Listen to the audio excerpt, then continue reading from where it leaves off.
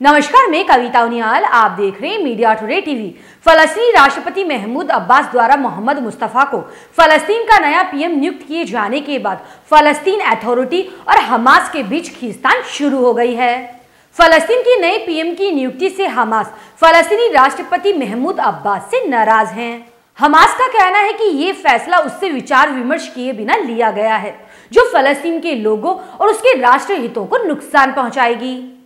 Hamas के इस बयान के बाद महमूद अब्बास की पार्टी, यानी फलस्तीनी अथॉरिटी ने हमास पर पलटवार करते हुए गाजा में जो कुछ भी हो रहा है, उसके लिए हमास को जिम्मेदार ठहराया। वहीं अमेरिका ने भी फलस्तीन के नए पीएम की नियुक्ति का स्वागत किया है। अब ऐसे में माना जा रहा है कि फलस्तीन के नए पीएम की नियुक्ति अमेरिका के दबाव में की गई है। नए पीएम की नियुक्ति के बाद हमास ने क्या कुछ कहा? उसके बाद पलटवार करते हुए राष्ट्रपति महमूद अब्बास की पार्टी ने इसका क्या जवाब दिया? और अमेरिका का इस पर क्या कहना है?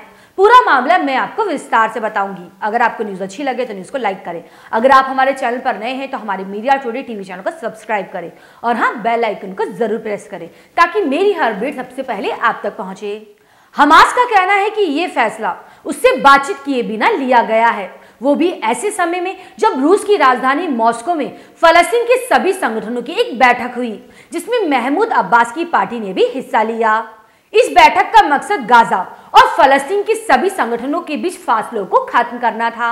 हमास ने एक बयान जारी करते हुए कहा है कि हमास इस फैसले को लेकर अपनी नाराज़गी ज़ाहिर करता है, जिसने हमारे लोगों और हमारे राष्ट्र हितों को नुकसान पहुँचाया है। एक व्यक्ति द्वारा फैसला लेने और देश के लोगों की सहमति के बिना नई सरकार बनाने से मतभेद और गहराएँगे। इसके जवाब में राष्ट्रपति महमूद अब्बास की पार्टी ने गाजा में जो कुछ भी हो रहा है, उसके लिए हमास को दोषी ठहराया, क्योंकि उसने इतनी बड़ी कार्रवाई को अंजाम बिना पूछे दिया था। फतेह ने अपने बयान में कहा कि हमास ने ऐसा करने से पहले फलस्तीनी नेताओं से विचार विमर्श किया था। अमेरिका ने इस पर क्या कहा? मैं आपको वो भी बता देती हूँ। दरअसल, फलस्तीनी राष्ट्रपति महमूद अब्बास के ऊपर फलस्तीन अथॉरिटी में सुधार करने के लिए अमेरिका का दबाव है। अमेरिका चाहता है कि इसराइल हमास जंग खत्म होने के बाद गाजा का शासन फलस्तीन अथॉरिटी ही संभाले।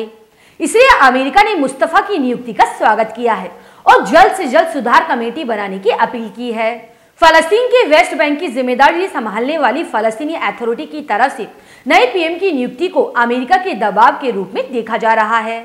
क्योंकि ये नियुक्ति ऐसे समय पर हुई है, जब गाजा में भीषण जंग चल रही है। और अमेरिका फलस्तीनी राजनीति में सुधार करने के लिए फलस्तीन के राष्ट्रपति महमूद अब्बास पर दबाव बना रहा है।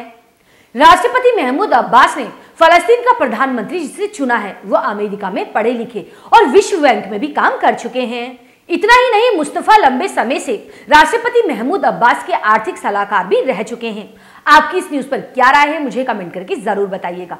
अब मैं आपको जल्दी अगली अपडेट के साथ मिलूँगी। शुक्रिया।